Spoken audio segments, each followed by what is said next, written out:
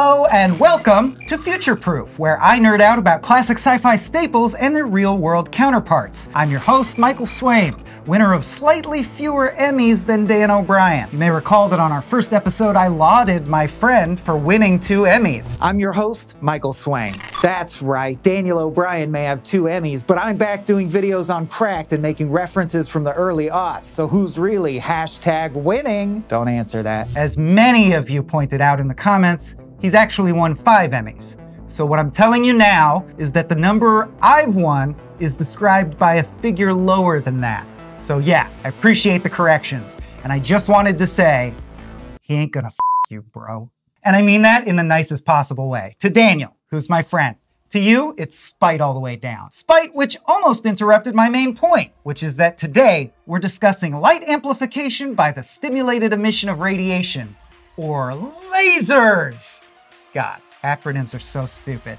Swaim winks and intro.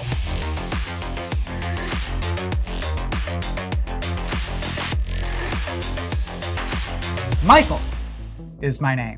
Once again, in case you missed it.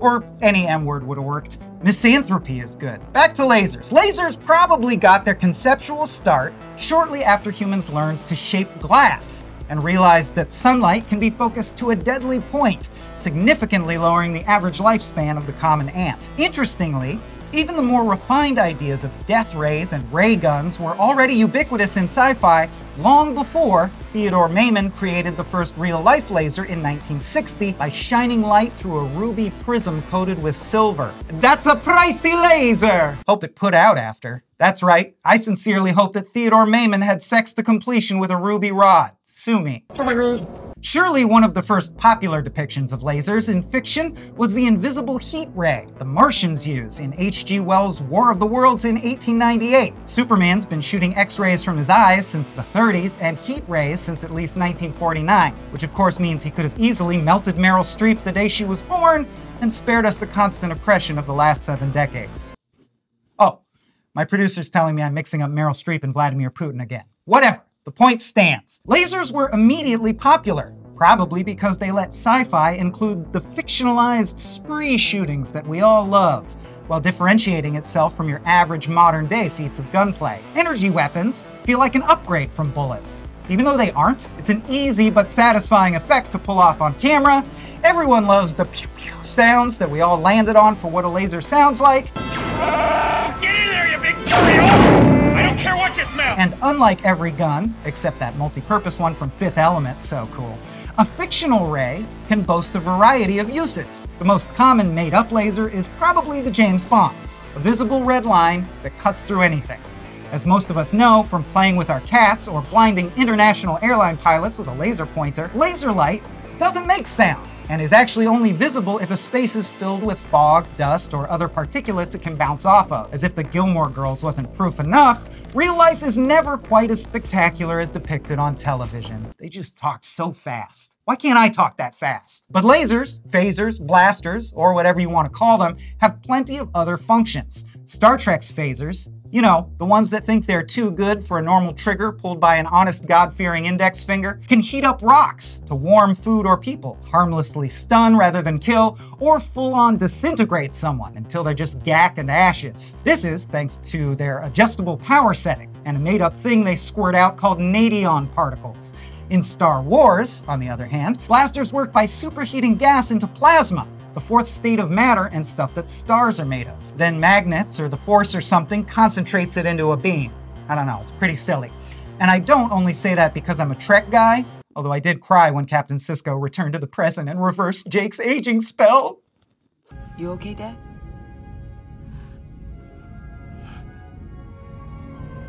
I am no Jake. God damn it, I need to cut. Let's cut. All right, let's get back in. Can I get last looks on monitor? Oh, come on! Obviously, that's not gonna work. You were gonna let me Please, Mom, pay more attention. You look great, sweetie. Here's the thing. I personally give Trek the edge because at least their lasers function like real light does. As in at the speed of. Anyone who's ever turned a flashlight on, I'm looking at you, plucky kid detectives everywhere, understands that light traverses space pretty instantaneously. Same reason the light bouncing off a distant baseball player enters your eye a second or so before the sound of the bat hitting the ball reaches your ears, and up to a full five seconds before the ball hits you in the face and renders you unconscious. To this day, I still fear balls.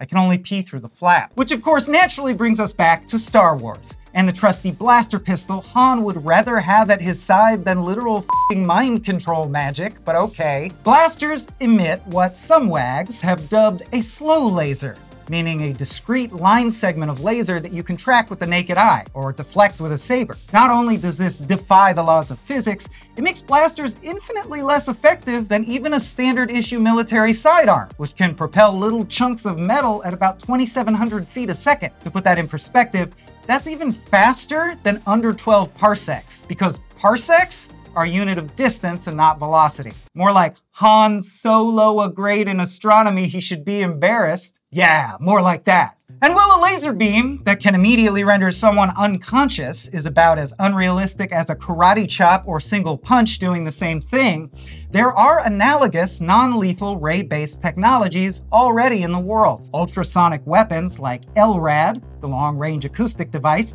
are capable of emitting sound at extremely high levels over long distances. It was initially designed to negotiate with hostage takers from afar or deliver emergency information to large groups. But naturally, the cops got their hands on some and just started cranking that shit to 11 and pointing it at people. The LRAD has since been used to forcibly disperse Black Lives Matter, anti-Trump, Antifa, and Occupy Oakland protests, as well as the 2017 Women's March.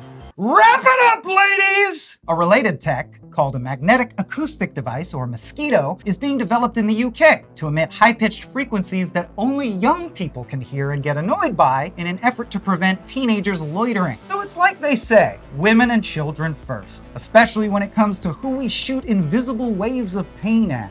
There are military heat rays already too that work on the same principles as your microwave, although they call them active denial systems instead. Humancrowave didn't test well. But believe me, when people start feeling themselves microwave, they disperse. Dispersal is virtually guaranteed. Big bet on dispersing. It could be considered unfortunate that in real life, non-lethal lasers still burn and damage your eardrums instead of gently laying you to sleep on the lush carpeted floor of an interstellar starship, but everything's relative. And the reality of laser lasers is so much worse. For scale, a laser etcher and engraver tool has a laser power of about 65 watts. A commercial grade 4000 watt cutting laser can slice through carbon steel an inch thick. Current day military lasers range between 1 and 400,000 watts. So far, the main early application of these absolute units has been defensive. Have a targeting computer point a laser at an incoming drone, rocket, or missile, melt that sucker out of the sky. Right now, these rigs are huge and usually mounted on something like a plane or aircraft carrier that can support a turret. And they all have stupid military acronym names like HELSI, Eldu, FEL, and YAL 1, which I guess is better than Reagan calling his laser Star Wars, but still not as cool as my suggestion. Fleshlights. You know, because they're light that burns flesh. And yes, I have had sex with several, but that's neither here nor there. We do things for science, okay? Things we're not proud of. The really scary thing about real lasers, beyond the fact that they're fully in the hands of cops and government, is that they don't just punch a little hole or cleanly cut through anything, instantly cauterizing the wound like in movies. Nah, dog.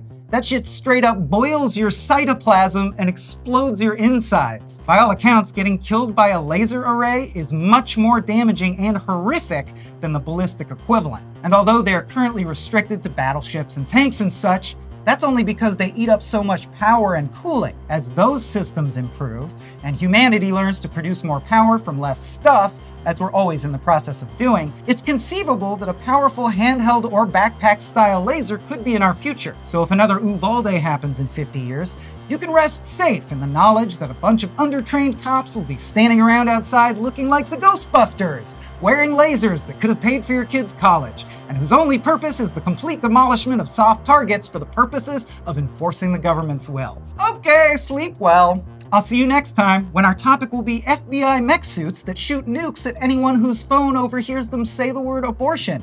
Bye now. Okay, bye bye. Bye, everyone.